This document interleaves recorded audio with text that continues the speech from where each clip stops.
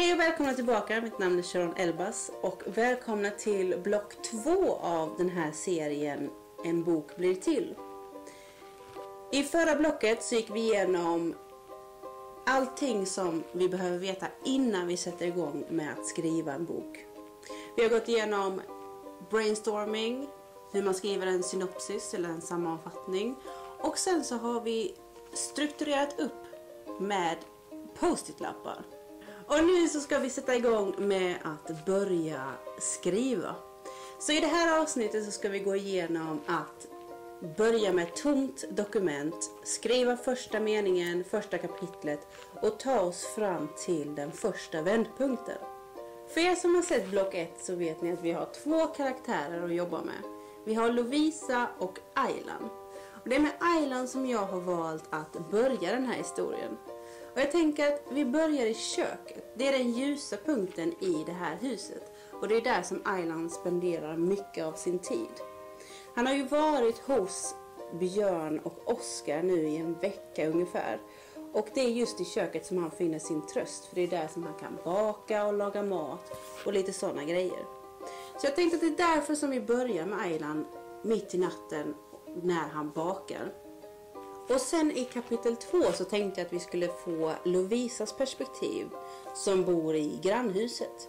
Det är hon som har bott där under en längre tid och det är hon som har lite mer information om hur det ser ut runt omkring, hur det ser ut i skolan. Så vi får följa med henne i hennes tankar under den här natten när hon försöker hålla sig vaken.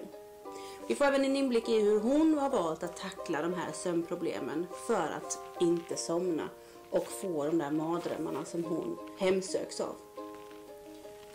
Så där, nu sitter vi med ett tomt dokument och vi ska sätta igång att skriva den här boken.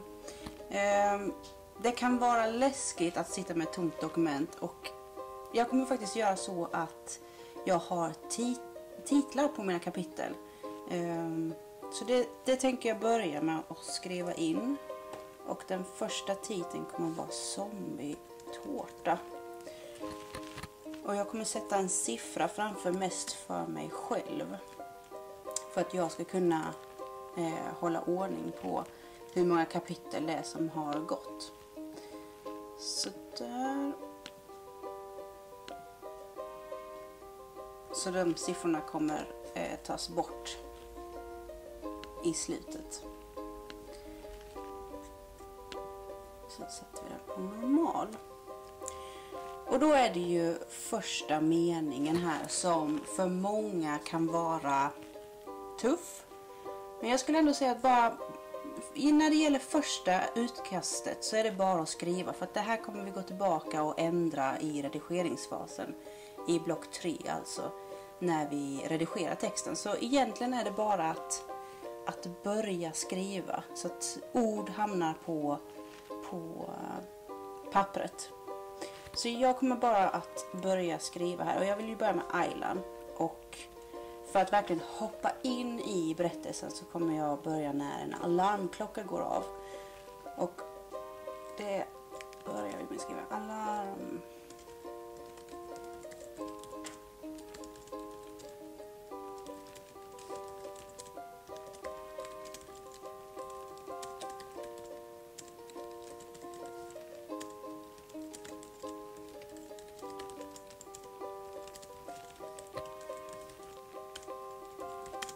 Så här ser vi att det är mitt inne i en situation. Alarmklockan ringer och Aylan har suttit med sina matteböcker och han ger sig iväg mot vad som kommer vara ugnen för det är där som han har sin, sitt, sitt bakverk. Så det är det han är mitt i. Alltså han har suttit och löst matteuppgifter när eh, han väntade på att kakan skulle bli klar.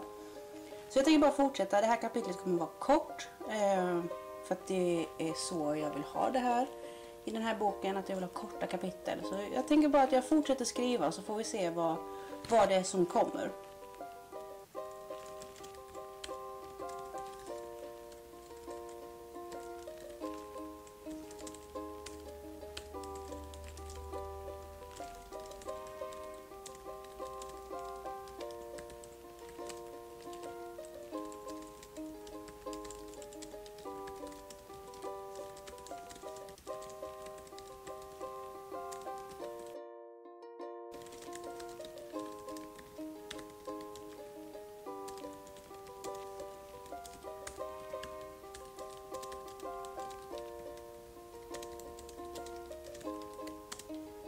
Och där var det första kapitlet slut.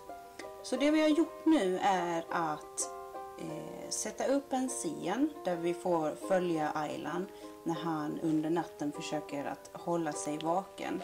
Vi ser hur han lägger ner mycket tid och energi på att få de här detaljerna så bra som möjligt. Samtidigt så får vi även lära känna honom och hans rädslor i och med eh, zombieansiktet och blodet med såren och sådär. Och vad det är som triggar i honom. Um, och det är egentligen det som det här första kapitlet ska symbolisera. Vi ska få en bild av vem Aylan är, vad det är som gör honom speciell eh, och varför vi ska sympatisera med honom. Det är även en bra bild av hur den fortsatta berättelsen kommer vara för det är just det här som Aylan kommer att eh, brottas med under resten av boken. Så då är det lika bra att läsaren får veta det med en gång. Så det var det första kapitlet och nu så tänkte jag att jag skulle fortsätta eh, framåt. Så får vi se hur det går.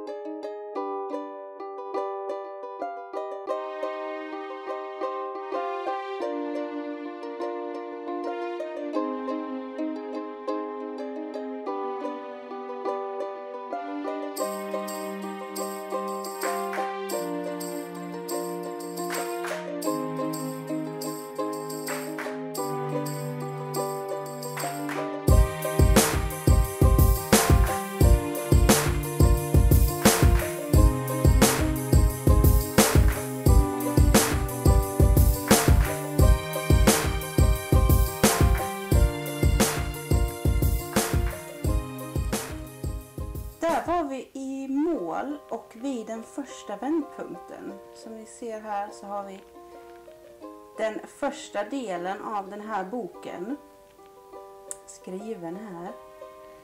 Vi har kommit fram till att eh, Lovisa och Aylan nu sitter i kojan och hjälper varandra genom nätterna. Alltså de sitter, de har precis träffats och eh, de har upptäckt att de har samma eh, sömnproblem och bestämmer sig för att, att sitta ute och prata med någon är bättre än att sitta själv och riskera eh, att somna. Så det är där vi är nu. Så i nästa stadie så ska de ju försöka att eh, se hur de ska göra med det här, att utveckla den vänskapen. Um, men det blir eh, för nästa, nästa avsnitt. Där var vi framme vid vändpunkt 1. Vi har kommit en fjärdedel in i boken. Och Lovisa och Aylan har nu träffats, de pratar och har kommit överens om att hjälpa varandra genom nätterna. Det som kommer hända nu i nästa veckas video är att vi kommer att se hur deras relation utvecklas och vi kommer få reda på mer om hur eller vad det är som ligger bakom de här mardrömmarna som de har.